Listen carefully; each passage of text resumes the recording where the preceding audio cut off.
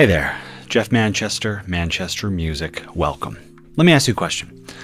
How many tape or saturation plugins do you own or do you know about? Because there's a lot of them out there already, which is why when I saw Baby Audio working on a new plugin called TAIP with an AI in it, I was intrigued, a little confused though, because the ocean is very red with competition. Um, if you're a third party, you're a company uh, that's not in a DAW, you've got a bunch. I, I wrote most of them down here. Um, and all these guys are great, by the way. XLN RC-20, I've used it, it's wonderful. The Waves Factory cassette, FabFilter Saturn 2, I've reviewed that um, on this channel, or maybe I haven't. I've done a lot of FabFilter reviews.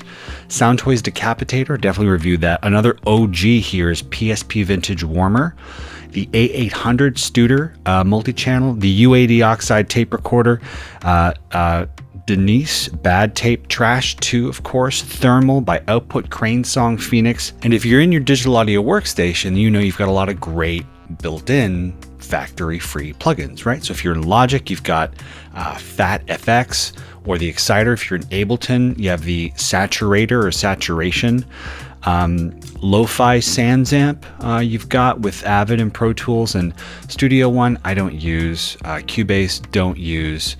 But uh, what I'm getting at here is for someone to release a paid um, tape saturation plugin, um, you really need to differentiate yourself against the paid stuff and the free stuff that comes in your DAW. So Baby Audio decided that their way to do this, their competitive advantage was artificial intelligence.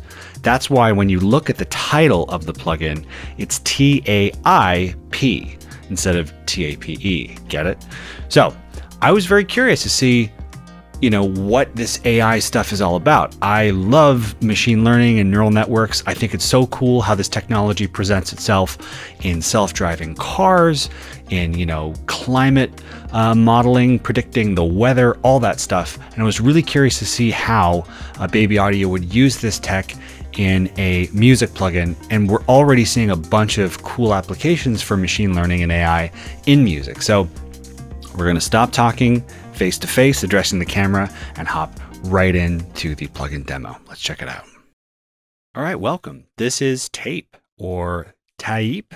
Sounds a bit like I'm Australian for no reason. Um, a couple different UIs here. Well, actually, the UI is the same, but the colors can change. We can go to a smoky gray or kind of charcoal or back to the white. And we can also expand it. But either way, either color, big or small, this thing still looks like it came uh, right out of 1997. this is hilarious. Um, they definitely have an aesthetic, Baby Audio, and they they are kind of they're proud. Um, so here's the plugin. Right now, I have it instantiated on some drums, which is where tape sounds good, frankly, to squish and squeeze and glue and distort and poke out and all that stuff. Um, I think I have a couple other plugins too on this uh, yep, I have a Neutron and I also have uh, a UAD Fatso Junior. So I'm going to bypass those guys so that we only just get the tape. Um, and let's have a listen to what that sounds like just right off the bat. Okay, there's no nothing. We haven't played with anything. Factory drums hot preset.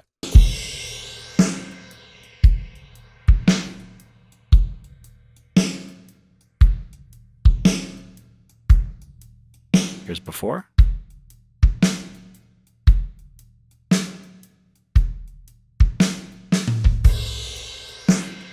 Okay, so I'm definitely getting some flanging. We have to find out how to make that stop. Um, but no, that's hey, flanging and wow and flutter. That's all. That's that's all part of tape. So, okay, let's actually dive into what everything is doing. Drive over here is where I think we should start. Um, so we're going to be adding color. We can add as much color as we need with the drive from a subtle touch to a fat, heavy distortion. They write here in the documentation. I'm assuming I bring the drive up and we get this HAL 3000 or 9000 uh, little looking thing here that is going to let me know that I'm doing something. Let's bring the drive up from zero, double click to default. Thanks, baby audio, for that.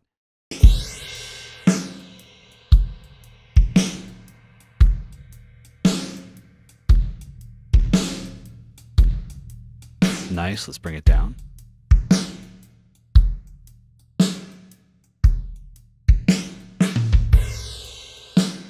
Okay, that's cool. Um, definitely driving gives us more fatness and thump. It doesn't affect the output. I bet that's why this guy is on. It's drive auto gain. If I turn this off, I bet it'll talk to the output and it won't um, constrain the output and almost have it behave like a limiter and it'll probably go up as this one goes up. A little bit like the decapitator has that switch for you too. Yeah, so my output is definitely going up, but I'm not seeing this red circle get any larger, which is interesting. So I'm not sure what's going on there. I would kind of expect this to go, this guy to get bigger as this one gets bigger if I have this disengaged.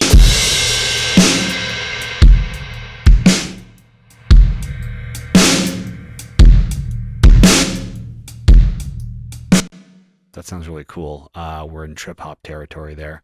So let's turn this back on and let's talk about the mix. We probably don't have to because this is like parallel mixing, right? We can just bring the signal in and out as much as we want. And of course, um, I forget what it's called, but it's like parallel heart, I heart something parallel compression plugin by Baby Audio. So I wonder if part of that's under this slider here.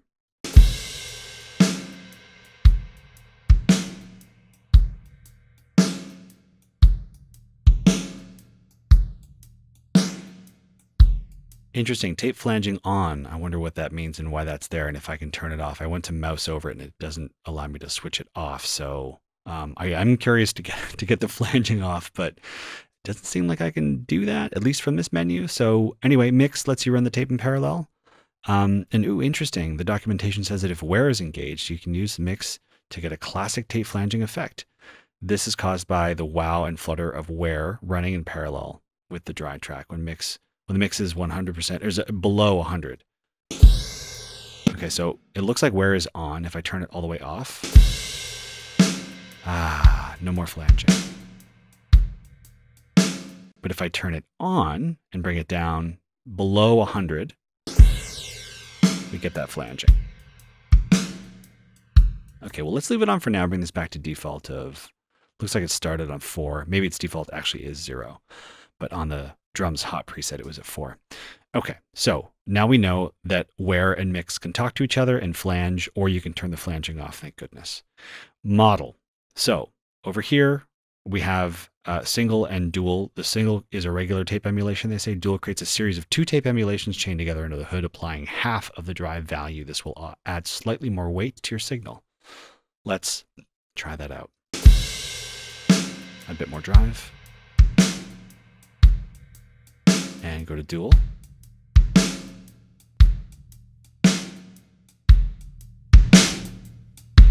Are not really hearing a lot of difference here. Single.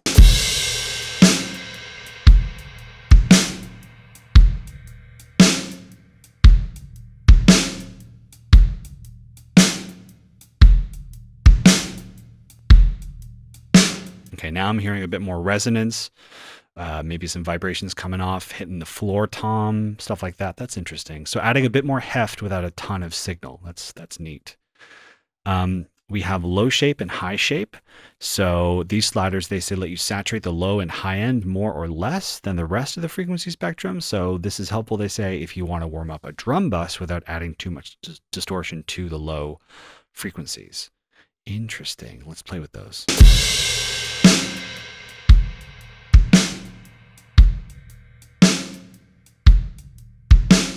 By the way, this is a little bit confusing, baby audio. People in the West, I think, you know, they read left to right. So we have noise, slider, wear, slider, glue, slider. Uh, but to have model and single dual, I was not sure if, if single and dual, and now I'm playing with the high shape. I thought single had something to do with the high shape and dual had something to do with the low shape, just because it's all like, again, left to right. Um, probably just me, but just something I'm noticing that's kind of confusing to me from a UI UX perspective maybe some lines to just kind of separate these guys so you know they're kind of not talking to each other, uh, these sliders on the right and left. Anyway, let's keep going here. So let's play with the high shape a bit more.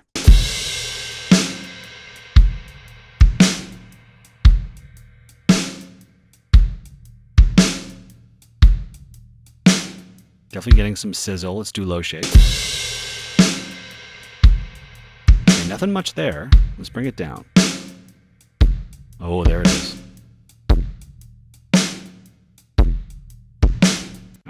That's nasty. That's disrespectful. I like that.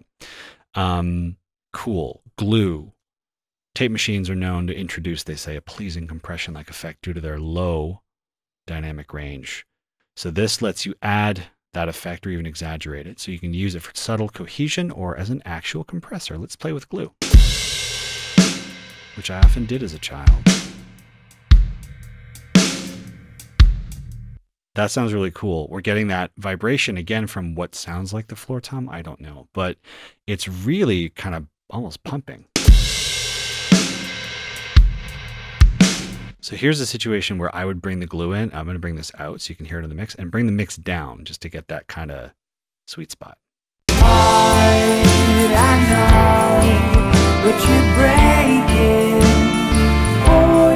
Actually, I don't like what it's doing to my shakers. Wow, those are really bright.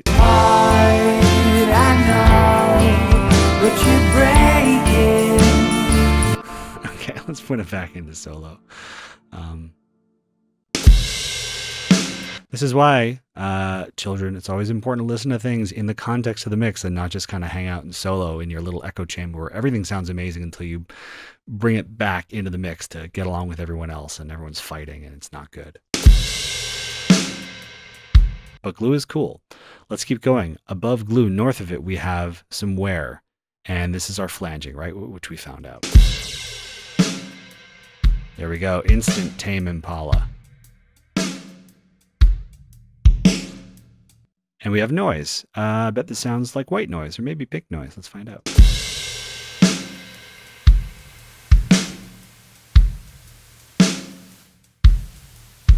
Okay, so that's kind of cool. Did you hear it kind of dipped? Almost like there's a gate that was like, I'm not hearing sound anymore. I'm going to go to sleep. Oh, I'm going to come back up. And also, there's something dynamic about the noise. Um, it's not just like we turn it on like a like on tap, you know, just kind of steady state.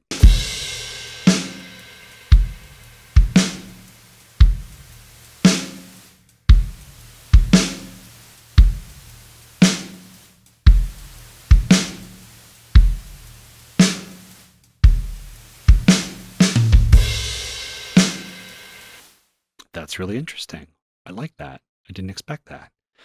I think the last thing to cover here is the presence. And presence, they say, is part of, um, well, part of the warmth of tape comes from an attenuated high end. So presence lets you decide how much of that you want to actually attenuate the high end, you know, make make quieter. Um, it can bring back the sharpness and brightness that is sometimes lost on tape.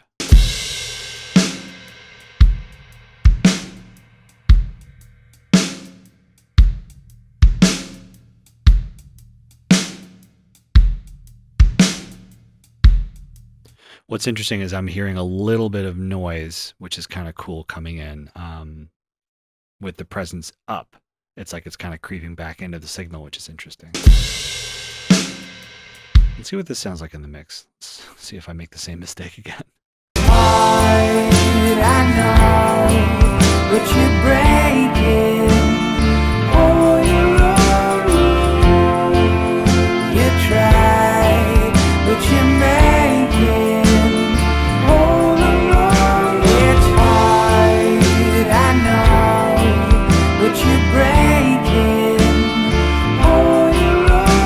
So it is really bringing up the drums, uh, the presence. I had to kind of bring back a little bit because, you know, my shakers, my percussion were getting a little out of control. But that's the fun thing. We can bring that down. That's why we have a presence slider. Um, normal and hot for uh, even more distorted levels when we hit hot here without affecting, they say, the output volume. Let's check that out.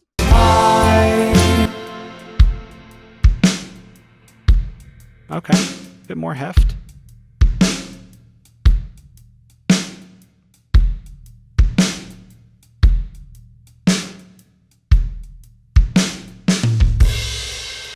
That's cool. And the last thing here, auto gain. We talked about this. I think I guess what this was. Allows you to add more drive while keeping a consistent plug-in output level. Yeah, that's what that does. Very, very cool. Okay, let's play with some presets. Um, we started with drums. We're still on drums. Let's see if there's another drum. Oh boy. I kind of wish these were okay. We have people's names here. I wish these were spaced out in terms of like categories of instruments. So like uh, drums, guitars. This is or like maybe submenus, um, which we can kind of tab down to expand. Okay, Drum Bus Plus by Rob Kleiner. Let's check it out. Oh, we're in Tame Impala land again. It's 1976. This is Sky Pilot. Google that song. It's really bad. There's a lot of flange on it. My dad always liked it though. Um, TMI. Here we go. Let's keep going. Um, let's find another drum one. Ooh, Drum Destroyer by Maximilian Jaeger. Okay, so that low end bump is coming off low shape. That's cool. Before?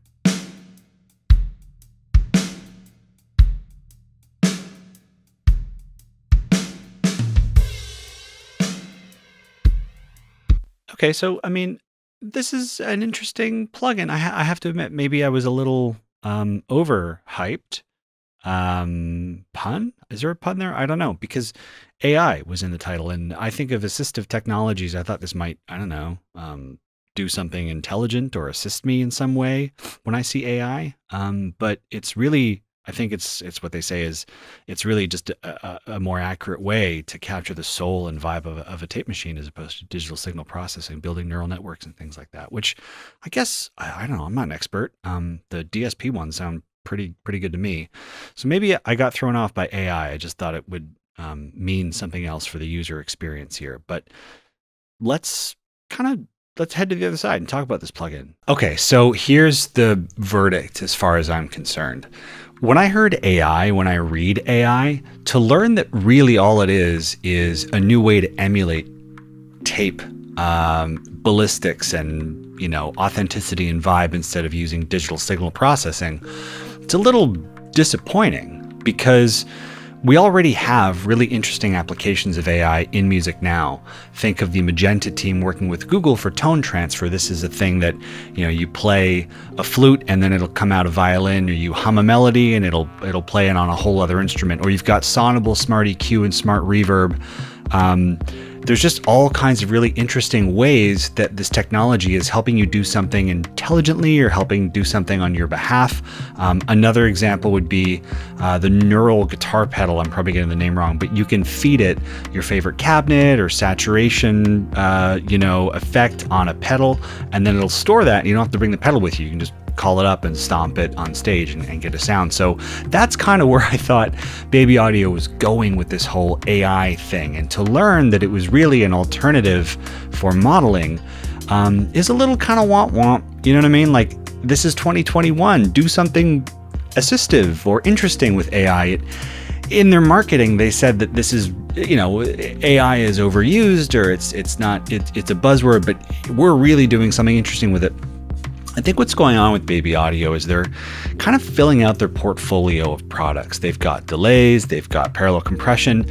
You know, they didn't really have a saturation tool as far as I know. And so this is a way for them to get that and also a way for them to differentiate themselves a little bit in the market with this AI thing.